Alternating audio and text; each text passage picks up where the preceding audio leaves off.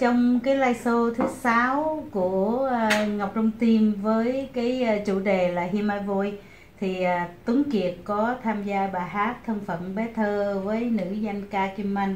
À, xin Tuấn Kiệt cho quý khán giả biết là cái cảm xúc của mình lúc đó đang thực hiện bài hát ấy, như sao? Dạ khi em biết anh Thành Lễ giao bài Thương phận bé thơ của cố nhạc sĩ Anh Bằng cho em, em rất là lo. Vì em mặc dù đi hát trên sân khấu rất là lâu, nhưng đây là một chương trình rất là lớn và thu hình và được hát chung với nữ ca sĩ Kim Anh. Em rất là lo lắm vì em không có biết là em có diễn tả được cái bài hát cũng như của chú Anh Bằng khi mà viết cái bài Thương phận bé thơ để riêng tặng cho Ngọc Trong Tim. Vì bài hát này là nói lên những anh em khuyết tật. Biểu diễn cái cảm xúc đó nó rất là khó. Em không có biết là em làm được hay không nên em cố gắng tập rất là nhiều.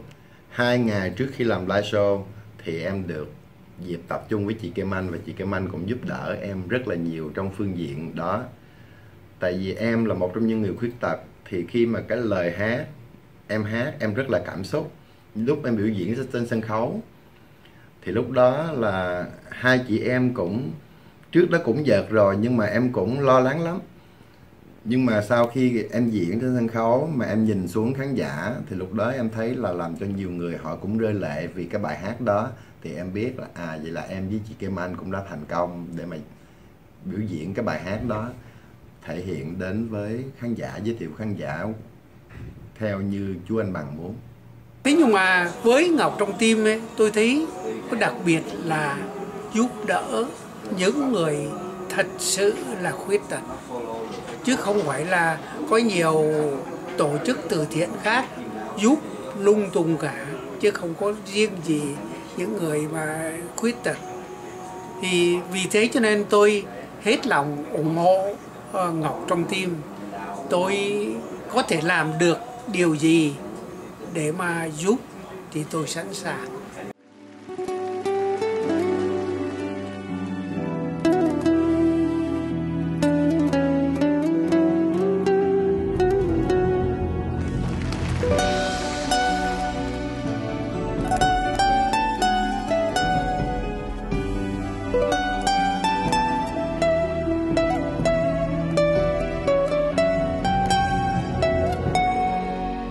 Có bé thì cầm điếc có bé đầu nghiêng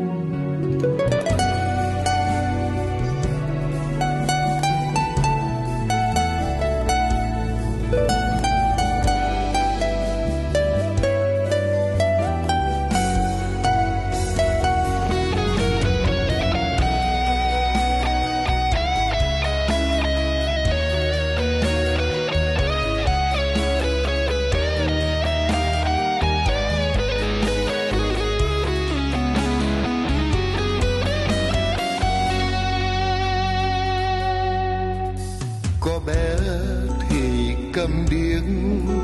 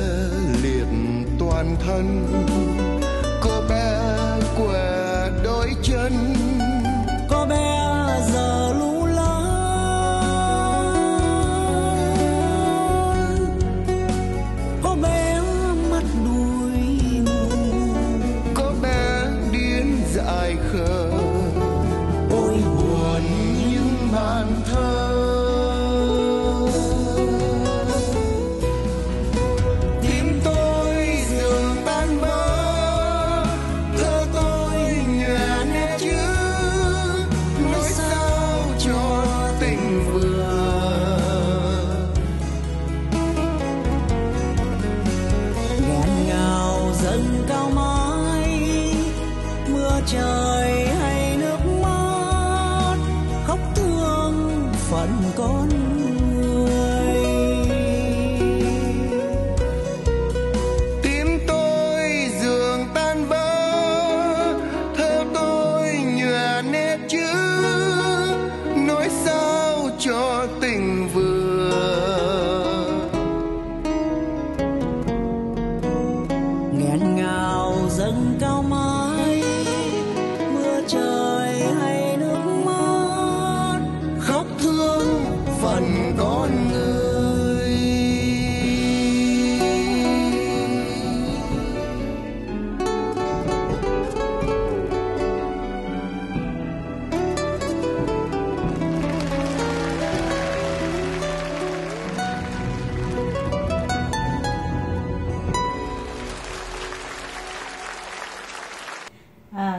Kiệt nhiều. Hiện nay thì Tuấn Kiệt là nhân viên của hãng MME. Tuấn Kiệt có thể biết cơ duyên nào em được làm việc trong hãng này và trong công việc hàng ngày em có gặp gì khó khăn hay không? Dạ vâng, em có dịp quen biết với ông bà chủ của em rất là lâu rồi. Tại vì mỗi lần em đi hát cho những chương trình gây quỹ hay những chương trình dạ vũ là ông chủ bà chủ em đều có tham gia vì ông chủ và bà chủ em là một người sponsor cho những chương trình đó để mà giúp cho người Việt Nam hay là những cái chỗ nào mà họ bị thiên tai thì ông bà chủ em lúc nào cũng có mặt để mà giúp đỡ từ vật chất lẫn tinh thần. Anh chị nhiệt huyết rất là nhiều. Đến năm 2012 live show mẹ về em tôi thì em được tiếp xúc với anh chị nhiều hơn vì chính anh chị là người khởi khởi đầu live show của Ngọc Trong Tim ở nước Mỹ. Và lúc đó em bị thất nghiệp khoảng 3 4 năm gì đó. Thì trong thời gian đó anh quê có hỏi em là, nghe nói Kiệt bị thất nghiệp rất là lâu. Đâm ra là lúc này em có làm ở đâu chưa? Thì em em muốn như thế nào? Em có muốn vô làm cái cái việc làm trong hãng của anh hay không thì lúc đó là em nộp đơn vô thì là anh chủ em nhận em vô. Nhưng mà lúc đó thật sự là không có cần người. Nhưng mà tại vì anh thấy em không có việc làm đâm ra là ảnh cho em một cơ hội để mà em vô đây em em, em làm để mà em có thể cuộc sống của em có thể thoải mái hơn so với lúc mà em bị thất nghiệp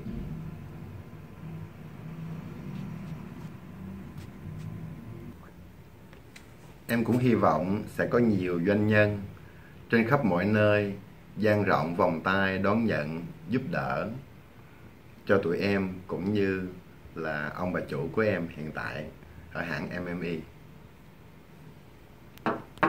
Um, à, qua việc làm và đời sống an lành của hiện à, của à, Tuấn Kiệt có hiện nay thì Tuấn Kiệt có những lời gì muốn nhắn nhủ đến các bạn khuyết tật và đến các ân nhân của chương trình Ngọc Trong Tim. Dạ theo em thì sự khiếm khuyết không có làm mình trùng chân lại được những cái ước mơ, những cái nguyện vọng của mình trong cuộc sống. Như tụi em bị khiếm khuyết, khuyết tật, tụi em có thể đi chậm hơn người ta. Nhưng mà nếu tụi em cố gắng thì tụi em cũng sẽ đi tới đích giống người ta thôi. Đâm ra là những cái mà nếu mình cần làm thì mình nên làm đừng có tại vì mình là người khuyết tật mà là mình nghĩ mình không nên làm chỉ có những người bình thường mới làm được thôi em, không nghĩ như vậy. Em nghĩ tất cả mọi người có thể làm được. Nếu ý chí của mình nhất định phải làm thì sẽ làm. Em là một trong những người mơ ước được đứng trên sân khấu.